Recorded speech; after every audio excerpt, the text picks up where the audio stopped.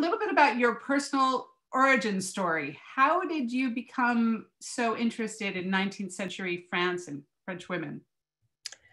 Um, so that's a good question. And I never quite have the perfect answer. I studied, started studying French in high school. Um, just as a kind of personal passion. And it wasn't enough to just be president of French Club, I guess. I just had to go on and get a PhD in French. Um, and I studied a lot of feminism in college. But when I was getting my PhD, I was mostly studying um, male writers as far as it it goes for um, the 19th century, which was the period that I was most interested in, you know, the Balzac and the Flaubert and the Zola and all that good stuff. Um, but I was really struggling with my dissertation topic. And when I went to meet with my advisor, he said to me, you know, what about what about women writers from this time period? And I was just like, there aren't women writer, you know. I mean, yes, there's, you know, George Sand, okay, and Rachilde I had heard of a little more obscure but known to French scholars. And he just listed off um, a dozen writers who I'd never heard of. And, and that was that. I just wanted to know why I'd never heard of them. Um, and that's what I ended up doing my dissertation on. And of course, um, it well, it led to all three of these books, and there's just still so much fascinating work to be done. Well, let's look at the first one, your first book, The Hysterics Revenge. Um, tell us a little bit about about what the message of this book was. Um, sure. So this was kind of the the product that of, of, that initial query. That's a picture of Colette, by the way. Um, that amazing cover. Um, and um, I was, you know, having studied these 19th century male writers, they seemed to me really interested in female sexuality um, during this time, and there was a lot of writing about hysteria. Hysteria becomes the kind of illness of the century that everyone is hearing about. And there's this explosion of diagnoses in the late 19th century, um, along with the um, development of all kinds of new sciences and all kinds of medical writings about the female body that um, make their way into books like Flaubert's Madame Bovary, um, so many of Zola's works. All of these, these writers were reading medical writings. We have a um, picture and, to sort of illustrate that. Yes, exactly. So, um, so this picture is just kind of the um, the shorthand for that entire project, um, because it's um, you know Charcot giving the legendary hysteric, hysteria doctor um, giving a lesson at the Salpêtrière Hospital, um, and as you can see, there are all these male students um, in the audience. Um, and then there's the woman who is the hysteric on display.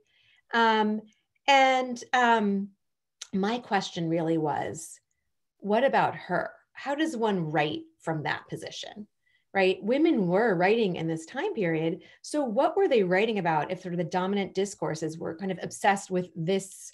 this composition this this vantage point how does one write and think when so much of the culture and the writing in the culture is about you being an hysteric or being this kind of sexualized entity what did women's voices sound like there and that was the idea of the hysterics revenge um, which was you know kind of the greatest fear from these male writers is what, what i was arguing in that book was that even though there was so much writing about women's bodies being dangerous and the femme fatale you know, um, and sort of the dangerousness of that kind of figure, what these male writers seemed actually, when you get down to it, most worried about was women who could think and women who could write.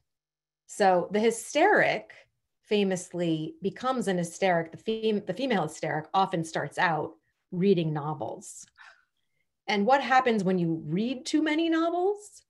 God forbid, you start to write them. And that was really what was at the heart of it, I found in these writings, in the medical writings, actually. It's the medical writings that are talking about novel reading. And then you start realizing, oh, they're worried about female intellect. And the whole conversation about women's bodies and, you know, disease and prostitution um, and sexuality was really kind of a way of distracting from the real anxiety, which is that that would really transform social structures, which is if women started writing So they had a kind of domino theory that first you read a book and then you, you, the family starts to unravel because oh, yeah. you, you you take on a male role and before you know it there's sort of a generalized social collapse. Exactly. Um, also, your uterus would dry up from that reading and writing. So well, that really does happen, doesn't it? I've noticed. exactly. Um, so uh, and and you focused on writers but i assume that it's just a small percentage of women who who wrote books um, well there were lots of women writing throughout the 19th century um, and so what actually what happens at the end of the 19th century there are new there are educational reforms that allow and require secondary schooling for young women and the consequence of that, it was not intended for that reason. It was intended to kind of wrest power away from the church because women being, girls being educated in convents um, meant that they had a certain affiliation with the church. And so it was, that was kind of the motivation there was to kind of um, take some power away from there by educating women elsewhere. The consequence, of course, was that women were educated and then they wanted to be part of society in all kinds of ways. And actually, right, they did read novels and then they did want to write them um, and go to law school and med school and all those other things. So there is an explosion of women writers. Um, starting in the 1880s, 1890s, early 1900s.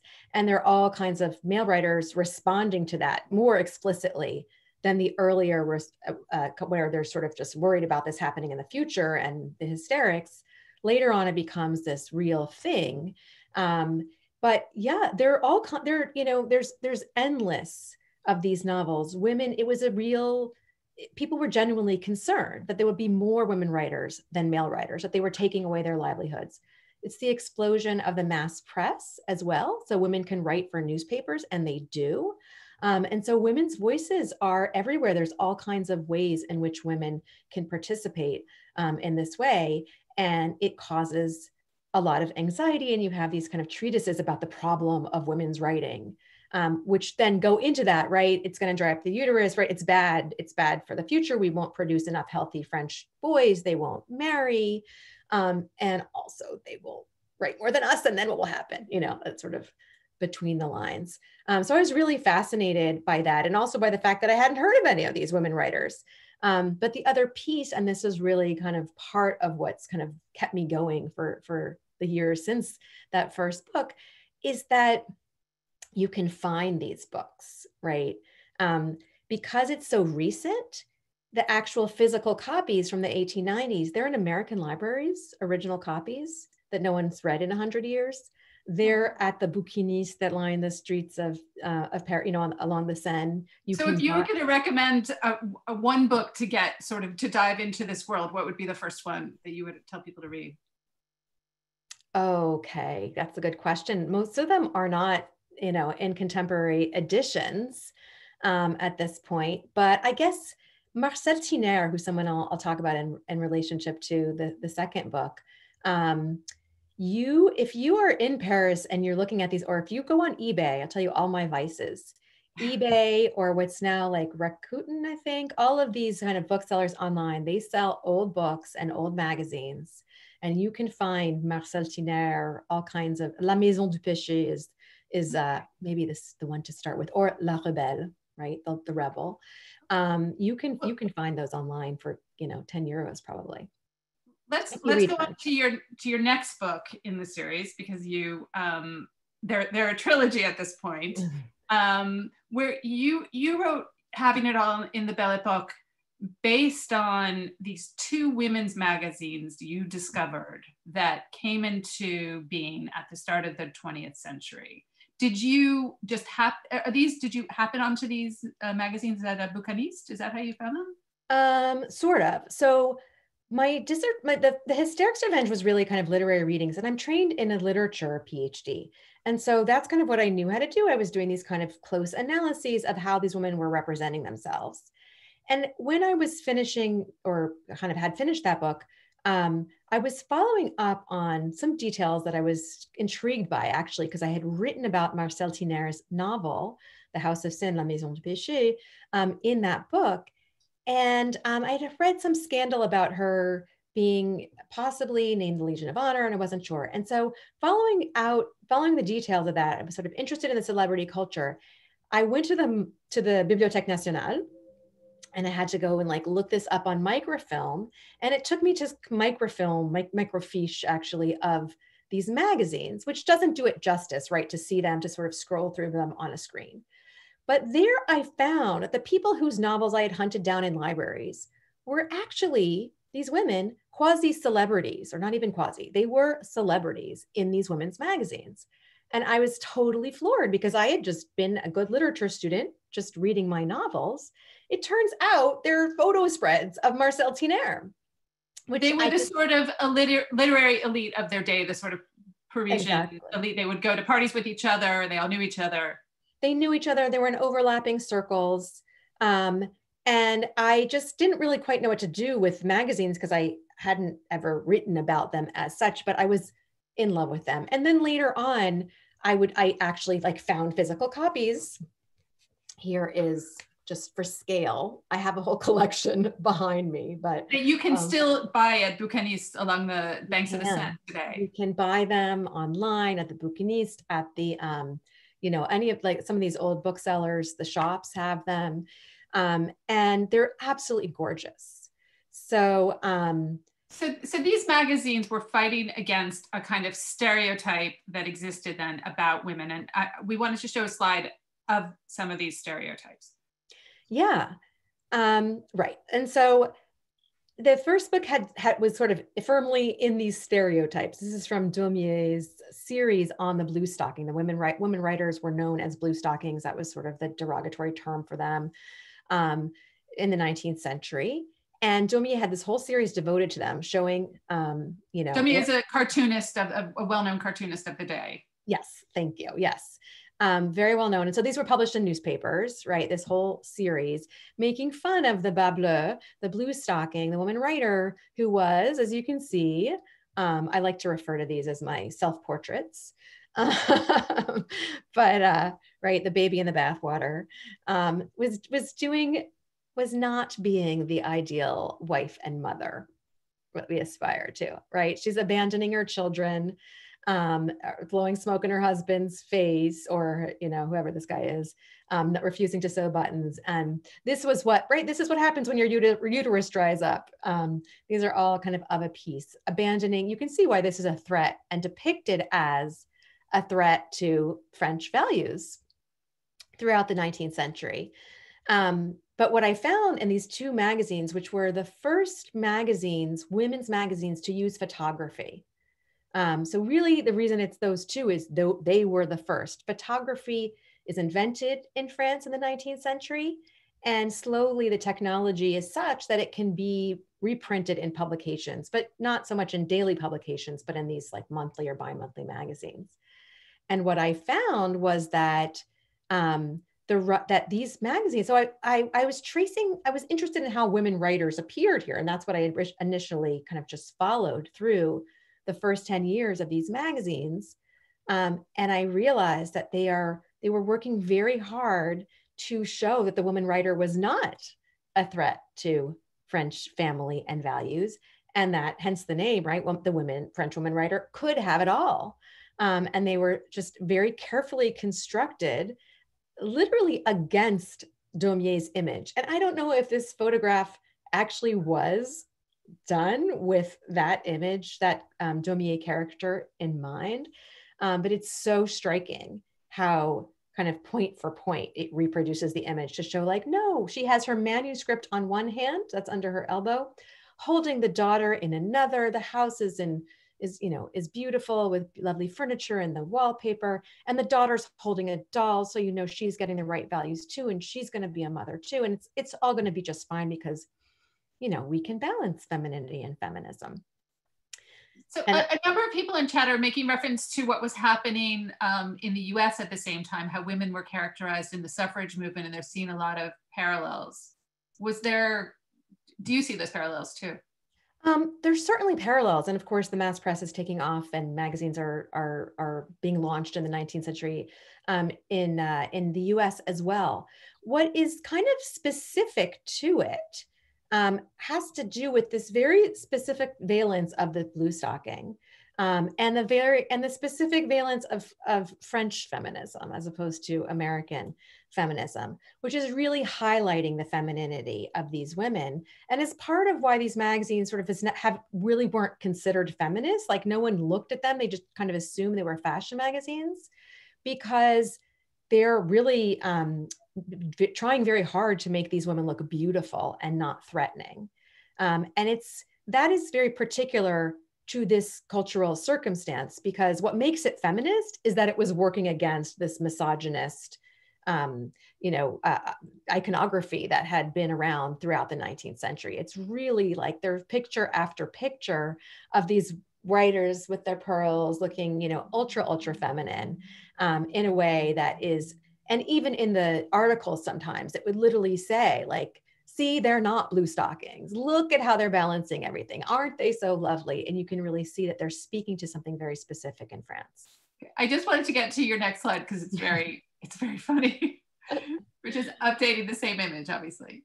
Yeah i mean um part of what was so fun for me writing this book was I just couldn't believe that I was finding these things in these magazines that were launched in 1901 and that the messaging, you know, was a total plus ça change situation. Um, it was, and it was right when in the US, this, the whole having it all conversation was relaunched with Anne Marie Slaughter's article in The Atlantic that asked, Can women really have it all? That was like, I think, in 2011 ish, I think, was when that article came out. Uh-huh. Um, and so, uh, we were revisiting these same questions, and um, that is that is it from an Amex ad with Tina Fey, um, that you know kind of shows where we where we were where we are now which is the recognition that you know i mean that a second after that photo of Tina was taken all hell might have broken loose right? This is a construction and a fantasy um, and we've sort of acknowledged that now. Because the, the, the french talked about the modern women la femme moderne but in america or in the at least in the anglophone word, world we were talking about the new woman. And those the modern woman with the french one the new one was the anglophone and those they were very different characters. So the new woman existed you know la femme nouvelle in, in france was a uh, a term as well. And what was interesting, was a kind of Anglo import, the same terminology, um, but it had, again, a different valence, different associations in France. So, what was frustrating and interesting to me as a historian and a literary scholar um, was that people sort of took on the French use of this term in the 1890s in their scholarship in the 21st century. And when I went back and look at these women writers, they were saying, don't call me that because it had such negative associations. And so the women who were writing at the time, when you listen to what they were saying about themselves, it was super complicated. And they didn't see themselves as feminists because that word was didn't really mean what we you know what it means now and they did not want to be called new women because that was something that was associated with the feminist which was also very negatively coded in France. Um, and this so, is really this is really important because the coding in France is that if you're a feminist, then you're um, you lose your femininity, you become masculine, and you in a way supplant men, and the family ceases to work, as we were talking about before. Yes, um, that was the fear, and that's what they're really working against. Um, the novels, in some ways, allow them to explore this in a kind of more nuanced way, where they like explore the conflict between work and family. Whereas, whereas the magazines are like, "It's great, we have it all figured out, we can do it," um, because like it's just really they stay on message in a different way. But the women's voices themselves tell a really complicated, self-aware story of the, the struggle um, of trying to figure out in this transitional moment um, at the turn of the 19th century. Really, like uh, the magazines run up till World War One, and then they really turn into something else. Um, but um, but in that moment, it's a really it's an interesting moment in feminist history because it's not really recorded. And it's not recorded because laws are not passed. Laws are debated, but they don't really pass. Women do not get suffrage in France until way, way later, um, or in America for uh, for that matter. And so um, and so we kind of lost this history. And what I'm interested in are the questions that were asked, the stories that were being told that aren't recorded in kind of legal changes, but were experienced in the moment and um, really un- help us to understand this time period and to see that these are not the questions we're facing now are not new questions, right? And they were asked in this particular context in this really interesting and relatable way. Let, us look at some more of the magazine covers. Um, so there were two magazines. Um, there was Femina and La Vie Heureuse. Femina came first, right? Yeah, so Femina comes first, and basically the guy Pierre Lafitte who in, who launches it is just an entrepreneur. He's not a feminist, but he understands demographics, and he seems to understand very quickly that if you give women a positive image of themselves, they're going to buy your magazine. Um, so it's not like the guy had this master plan. It's something he brings together. He understands innovation. He understands photography and he puts these things together and the women respond and so it transforms very quickly um, and is immediately wildly successful so successful that it gets this rival la vie heureuse which is very similar and in the end they fuse together um, in uh, i think it's 1917 la, la vie heureuse becomes part of femina and the prize the prix femina is originated actually in La Vie Heureuse, and then it's the Prix Femina. Which is one of the major French annual literary prizes. Yes, to this day. Yeah. Yeah. Um, and its innovation is that it's decided by a jury of women. So it can go to a man or a woman, but it's the women who decide, which I think is just so interesting. Does it, it has it had any of the problems that French literary juries are having now? I mean, uh, that's a good question. Actually, I haven't followed it so specifically, but it has its own. It has its own history, you know, um, as one might imagine.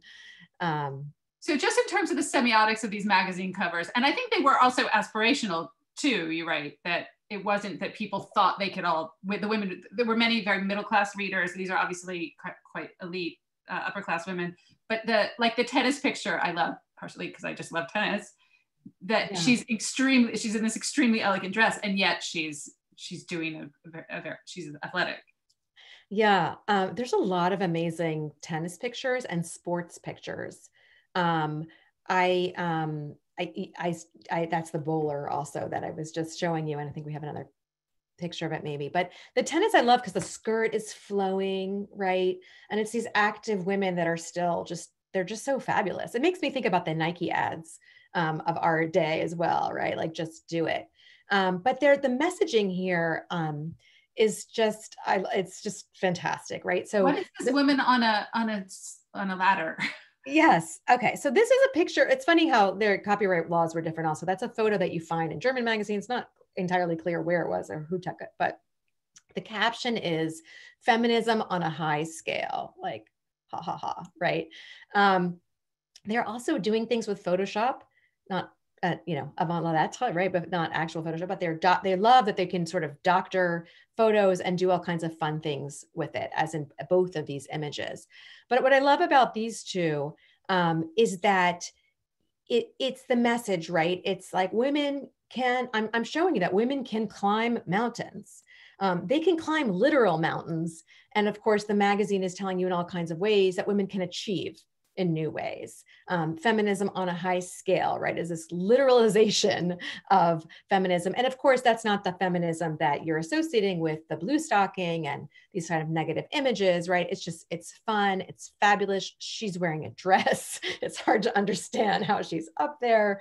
Um, and this woman in pants that's climbing mountains, she's got her cute little hat, right? It's not threatening. It's, it's fun. It's alluring. Um, and that's the message of these magazines. The message is also that these women are having a kind of personal journey, that they have the right to the to a narr- to their own narrative. Yeah, you know, still with their families intact, because there's often with the women writers, you have the picture of the women and then you show them dusting, like they're at their desk and then they're dusting or they're kissing their babies. Um, and yeah, there's the bowler who love also.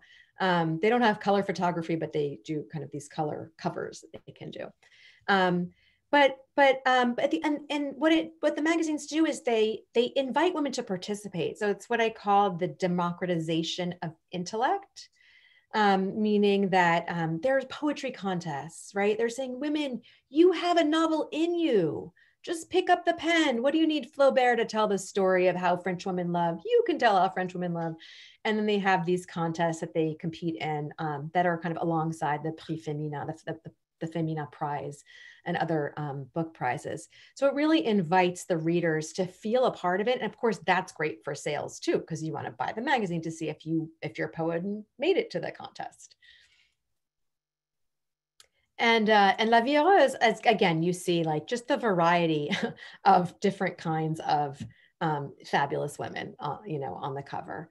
Um, the fisherwoman and this woman with the rifle. Um, I had um, on one of my blog posts an image from one issue. I had just taken images from one single issue of the magazine, and there was one that had this woman doing splits and acrobatics as and I saw saw that also as part of the semiotics. It's like, you know, look at all the different shapes that women can put themselves in and they still emerge, you know, smiling and lovely.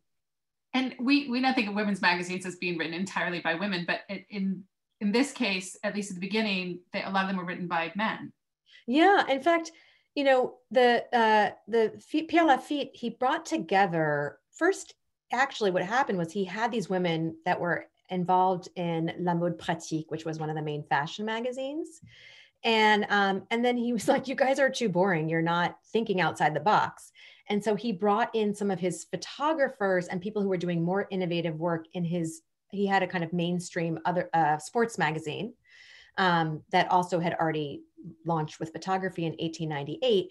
And after about three months of Femina, where it was there wasn't enough images and it wasn't exciting, he fired some of the women that he had brought over from La Mode Pratique and started over with these innovative journalists, bringing along people who were famous women writers to be part of it as well. Um, and so, I mean, you have all kinds of weird things that we wouldn't, we'd be a little uncomfortable characterizing as feminists out of context. For example, male writers writing in women's voices, um, and sort of speaking on behalf of women in a way that feels perhaps paternalistic. Um, so it's a conservative feminism. It's a very, you know, it's it's it's um, it's not without, uh, you know, there it, it, doesn't. It only takes you so far, um, but it was doing something really, really interesting in response to the moment. We also have some fans with the hat in the second photo coming over chat. I mean, listen, you can see why I had a little collection and I never wanted this book project to end. Um, you, I, you know, there's just endless, endless delights to be found in there. And that was for me, having read in microfilm and really studied these academically, when I actually held this one in my, this wasn't the first one that I had, but and I have a bunch of them framed around my house. Um, but just holding the material object in my hand was just, I mean, I talk about it in my introduction of just the love at first sight of, um, of that project. And, uh, you know, I, I'm always so happy to talk about it and always happy to re- return to these magazines because they're cultural artifacts and they contain so much. There's so much to interpret from the advertising to the stories, to the contests, to the photo spreads. They are just such a microcosm of this moment. And because these magazines were so pervasive, Rachel, as you described, you would find them on doctors' offices and sort of in everybody's uh, in everybody's homes uh, around the country, and not just among the elites. Um, wh- what kind of pushback was there uh, against these magazines and against this idea of the modern woman that was that, that the magazines were selling? There were, so there were fascist newspapers that were starting up around the same time. Yeah, I mean, what's interesting about it is that people, this was mostly a conversation between women. It was a powerful conversation between women that led to um, sort of the, the, the rise of the woman writer. Women were convinced, and many people who were associated with the magazine were convinced that women would be elected to the Académie Française. Women writers would be elected to the French Academy imminently um, at the time. By 1909, 1910, they were certain, even though um, that didn't happen until 1980. But in 1909, 1908, 1909, they were convinced of it. What are we um, seeing? Can you tell us what we're seeing yeah, here on the screen? Yeah. So this is that uh, early. This is what a you know Photoshop feminism, as I like to call it. Um, this is they had a a, a survey um, of which women writers, living or dead, would you want elected to the French Academy? And this is une académie féminine because one of the debates was should we just have our own academy? And that was sort of the prize. We'll have our own jury, which was in response to a woman writer, Myriam Harry, not winning an award um, for the Prix Goncourt that sh- they people thought that she should have won. So they created their own jury. And so one tra- one line of thinking was, well, we'll just create our own academy. And this was that fantasy. Let's create our own academy. Let's fantasize about it. Who would we elect? Um, and you have people, um, you know, we, you have like Madame de Sévigné in there somewhere, along with Marcel Tiner and people who were contemporaries that they. So I just love that that was part of the work Femina was imagining that, right? The imaginative work of saying, you can, ha- it's what we do all the time in the modern media. Um, we advance all kinds of causes by imagining a female vice president, female president, a gay a gay family or a pres- or a politician, right? We do it in television before it happens in reality. And so I think Femina understood that and they were doing that um, through these magazines and they really were pushing things forward. Unfortunately, World War One came and the progress I think was largely halted um, because of that. But um, but there was a world in which everyone was convinced that women would be elected, a world that was circumscribed in the mainstream, which to answer your question, the main quote unquote mainstream press, some people were totally unaware that the woman writer was rising in this way um, and super nervous about it. And so that's where you get this pushback, anxiety about women writers kind of taking over. Um, but it wasn't. It wasn't just in the literary sphere. You talk about how the these magazines started talking about marriage reform and divorce laws, and eventually women's suffrage too. Um, they do, but in a very careful way. Um, and yes, there are all kinds of there are all kinds of writings, and um, and the questions around divorce laws are there plays about that. So that's happening um, in the literary sphere. And yes, there are all kinds of debates um, that that carry over, but mostly in Femina, even though they're debating changes to marriage law. They're debating specifically whether that um, the, the formulation from the Napoleonic Code that women owe men obedience in um, exchange for protection. There was a big debate on the 100th anniversary in 1904 of whether that should be changed to something about love or equality. And by and large, um, the magazine said, "Oh, we don't we don't want to change the law, you know? But here here's some women who who have these equal marriages. I mean the law is not really something we should concern ourselves with. Mostly was how they sort of responded to that. Why did they also, take that position do you think? I think that there is um, there was a kind of deep-seated um, anxiety about associating with politics i think it comes from an idea from a from kind of idea about sexual difference about the difference between men and women um, and about french femininity that has its roots probably in the Enlightenment that preserves that difference as a value. And one of the ways in which that's articulated is that, well, women, we don't need politics. That's not what we're asking for. We can advance in our own sphere. Um, and so, politics and things like suffrage in France, people really, many women who who seem like they're feminists um, aren't sort of advocating for for suffrage or aren't don't don't want to use the word feminist because they don't want to be associated with politics and they see that as separately as separate and threatening to their femininity. So they will come out and say these things and write novels that seem like really um, subversive and seem to be challenging all those things but they will not want to sort of take it up in the legal sphere or relate it to politics and that's part of why their writings are so important because they didn't take it up in the legal sphere, because those laws didn't pass, we miss the fact that there were, you know, there there was a, a mindset that was ready for it in another way. Um, one thing that's amazing in reading your books is are the echoes with contemporary French women and and and the ongoing ambivalence that um, at least a I would say an older generation of women have here, like older, including my age and older, um, have a, about being called feminists. And, and there seems to be the same tension between um, femininity and, and feminism. And uh, uh, it's, it's remarkable how consistently it's been, pres- that conversation's been preserved.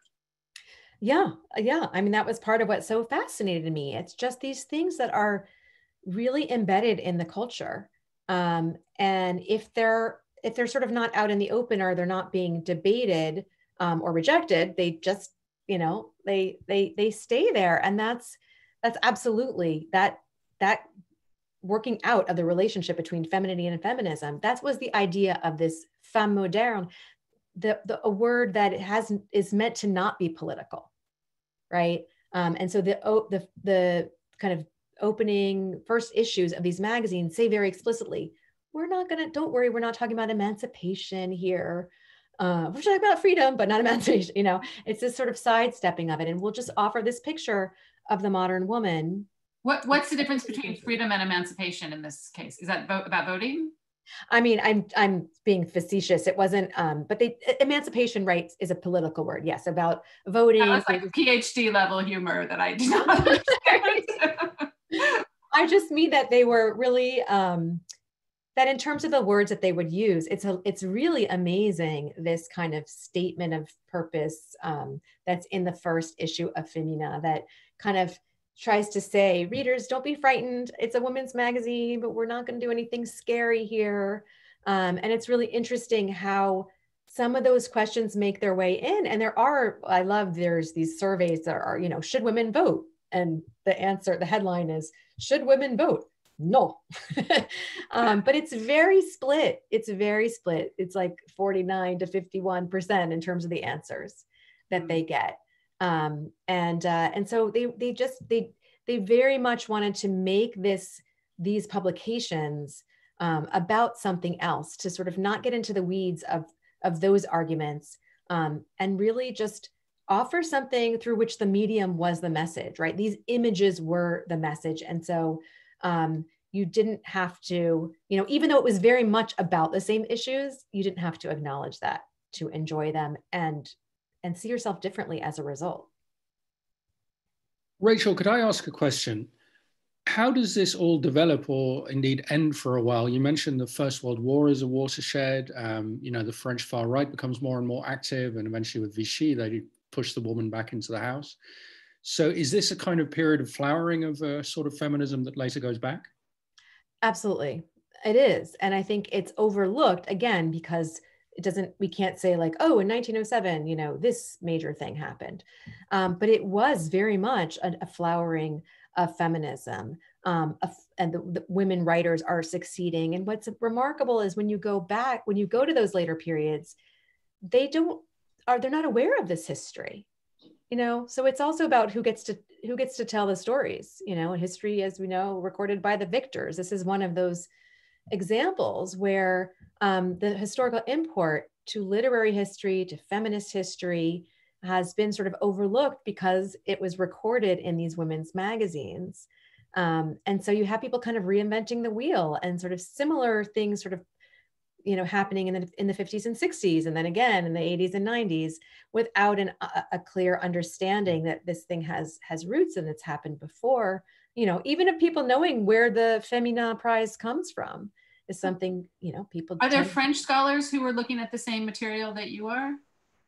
Um or not uh, I mean, so gender in France in the French Academy is very, very new, um, and it's it's it's not nearly as sort of developed of a discipline as it is in the U.S um, and interdisciplinary stories, which uh, studies, which is what I'm doing, right? Because it's literary, it's literary history, but it's cultural history, it's magazine history, it's art history, looking at the visual piece.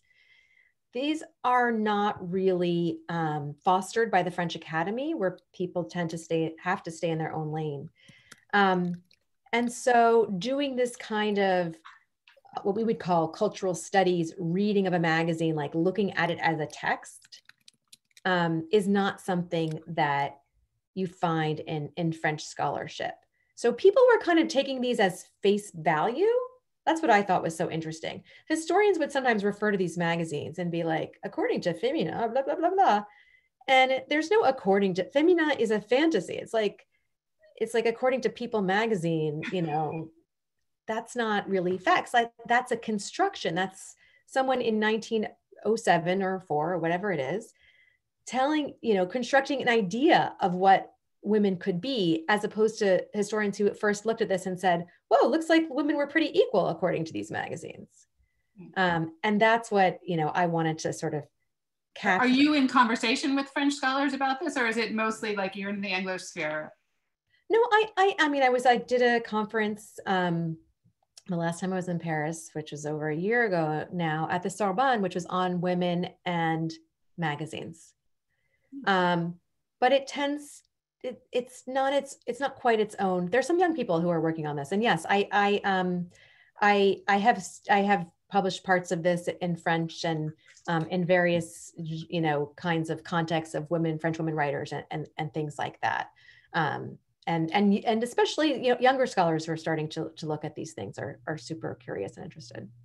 Yeah i, I was gonna um, say that among younger feminists and younger women in france there is a real desire to sort of break out of the the, the dichotomy of you know feminine femininity versus feminism and and to sort of break break and to move to something that's more uh, uh, anglophone more recognizable to, to us as americans.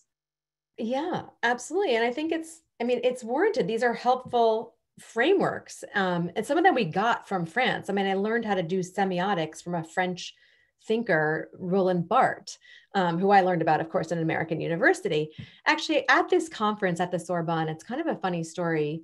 Um, well, I mean, uh, so it that there was a, a, an older male professor who kind of spoke at the end to kind of offer his blessing to everything we were doing on women. Um, so there was this funny kind of structural thing built in, and he launched into a whole diatribe about American feminism, assuming that everyone in the everyone who was there was French mm-hmm. and not i was you know absolutely going crazy listening to this but it was this whole fantasy about what we learned to do in in america and that's not how we do things here. I mean, this was like a year and a half ago. Um, but the other sort of, to your point, classic um, kind of question that came up when I was working in the French libraries at the Marguerite Durand Library in Paris, which is a absolutely wonderful gem. Um, it's the feminist library in Paris, and it has all kinds of um, wonderful collections there. And it's a tiny little library. But the first time I worked there, and I was kind of looking around and looking in their card catalog at the time, and the women stop, someone came over to ask me for help, an older woman who um, I said, well, I'm looking at um, la presse féminine. Um, you know, the, the, the feminine press is how you would, how you say it in, in French. It's a way of saying the women's press, right? And she stopped me to say, oh, no, no, this is une bibliothèque féministe. It's not a bibliothèque féminine, right? It's a feminist library, not a feminine or women's library. And I was like, Yes, exactly. Right.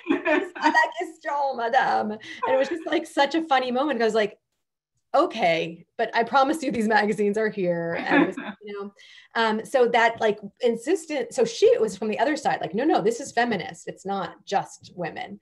Um, and those things were totally entangled from the beginning. Okay, well, just to tangle things up a little bit more, I wanted to move us on to your um, to your most recent book, Before Trans, and um, how you came upon the sort of trans pre-trans issue in France.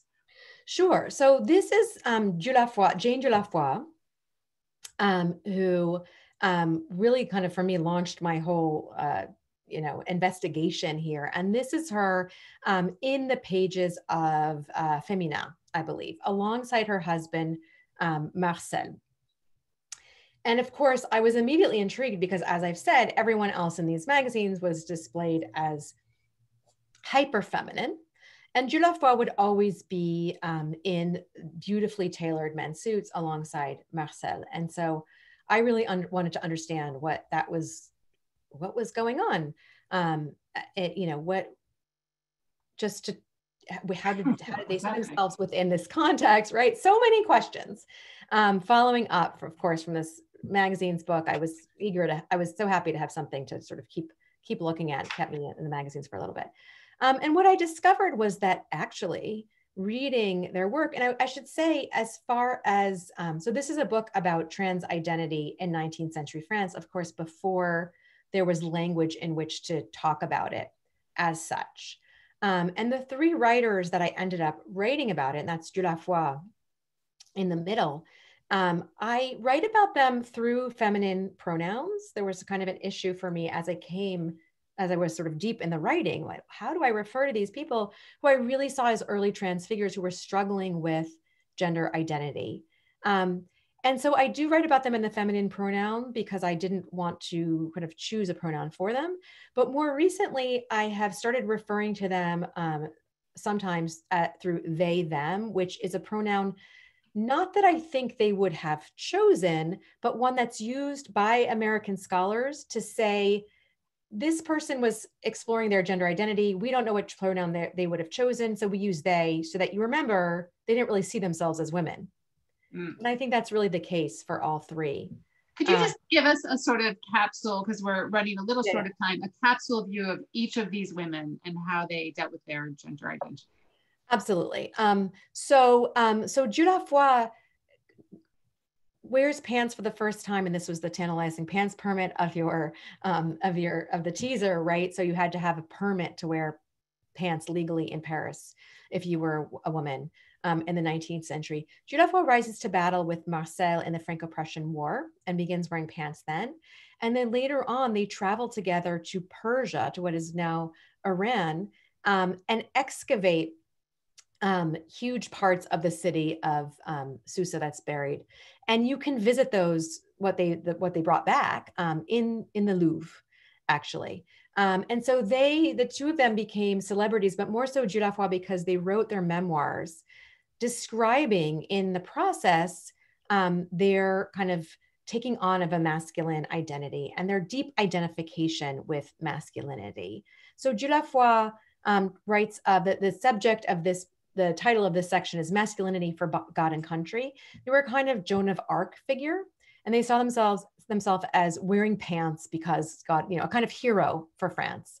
And that sort of authorized this masculine identity. But there was also kind of a lifelong exploration in their writing, their unpublished um, in their archives biographies of other people who crossed gender over time. Um, and you see this search um, for, um, for, for, for precedent for historical figures that they could identify with, that Jane could identify with. Marcel was elected to the Académie Française, to circle back to that, um, and the archives are, are located there. And they were this kind of amazing, um, idiosyncratic, fabulous power couple. And Dieulafoy's house is now was was donated to the um, to the Red Cross, but a much of um, her living room is still intact there um, in the 16th arrondissement. But we can visit her living room you can try. I mean, it's not a museum, it's the Red Cross um, headquarters, but there's a lovely man who works there who will happily show you. So Jane was accepted as a kind of iconoclast. Yes, because of Orientalism, right? Because of what they had accomplished in bringing back these treasures to the to the Louvre.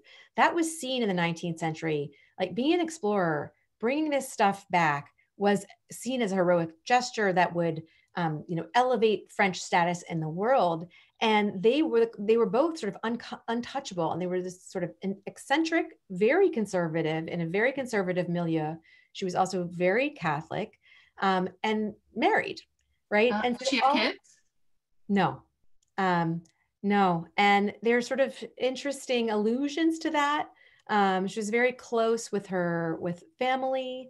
Um, and there are other accounts that she was very sad that she wasn't able to have children. Um, and identified to a certain extent as a kind of woman, but one that she then, I, you know, defines as having really very little in common with um, the other women of her time.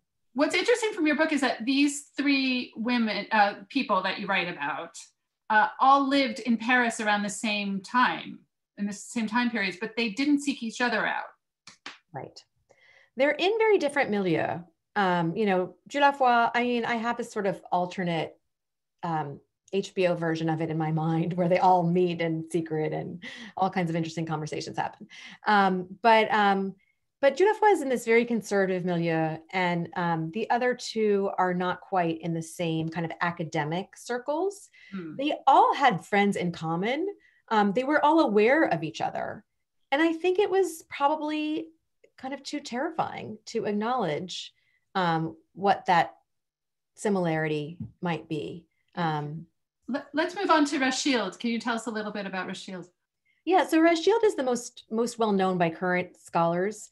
Um, it was extremely prolific and made their debut with the novel Monsieur Venus, which was this very gender bendy Um, and that picture in the middle with the hat is sort of what Rachilde looked like in the in the 1880s. Although we don't have too many photographs of them, um, but but uh, and they started wearing pants. They had a pants permit in the um, in the 1880s. Um, really, they is a is the is perhaps most apt as a pronoun for Rachilde because they always talked about this kind of double identity, and even the name Rachilde was one that they described as having come upon in a séance with a nobleman from the 17th century. Um, so, but it's a kind of gender neutral term, and they do describe sort of seeing themselves as as neutral, not wanting to say, take sides. Um, but um, but you but they're they're writing what what struck me in rereading Monsieur Venus, which is this novel that you know lots of French grad students in America at least read to this day. Actually, not so much in France um, because it's so gendery and people have sort of never known what to do with Rachilde.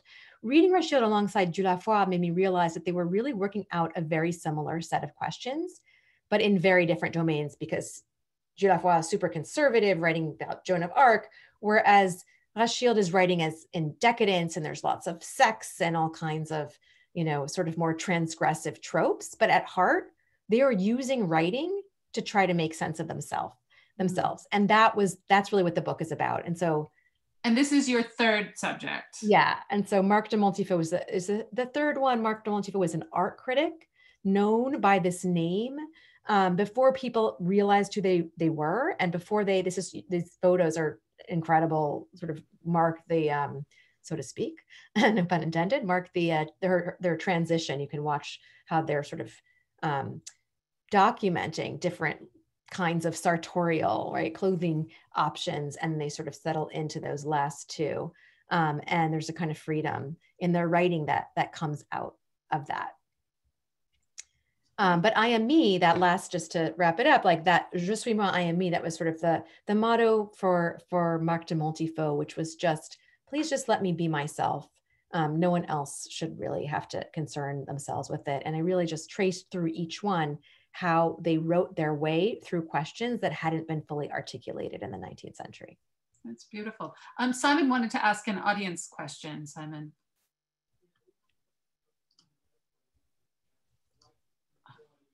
Simon, you're muted. You need to unmute yourself, please.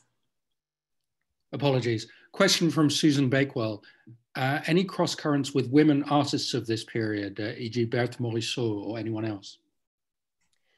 Um, absolutely. And there's so much more to be explored there.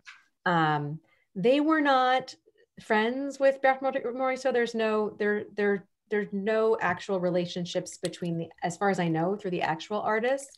Um, but, um, but the thing about before trans is that people who know this period immediately start to make uh, sort of have recognition of other figures that they might have heard of. And that's part of what I was doing is sort of reframing and saying, there's actually a lot of really complicated things going on with gender in the 19th century, especially in the late 19th century, long before we had sort of the terminology that we have today to think it through. Uh, Rachel, I just to, as a coda, I just wanted to bring us back to the 21st century because um, you, as we said at the beginning, you teach at Yeshiva University, which is a university, an excellent university for Orthodox Jewish men and women. There are separate campuses for men and women, and you teach the men. So, what's it like to teach uh, trans history to Orthodox Jewish men in the Bronx?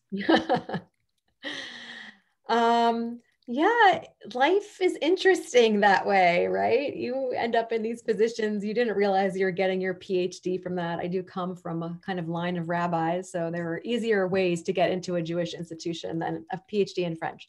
Um, but um, what's interesting you know it's it, i'm i'm coming to people who have very little contact with it's not the jaded american college student that you might find in other institutions right? So i have people who are really open um, the ones who are in my classes to thinking about these things and haven't really had um, a framework for thinking about it before. Um, so most of all it's that it's really kind of coming to it without without a lot of background and a really earnest effort to think it through that is also challenging as I'm always the only woman in the room and there are re- it's not a place that one could be trans and out you know there are queer students um, but it's still a place that that's a very challenging identity.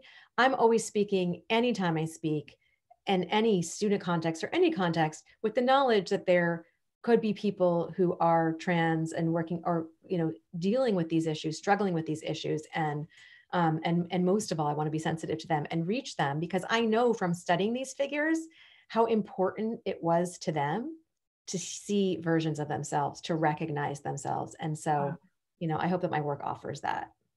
Well rachel thank you so much for being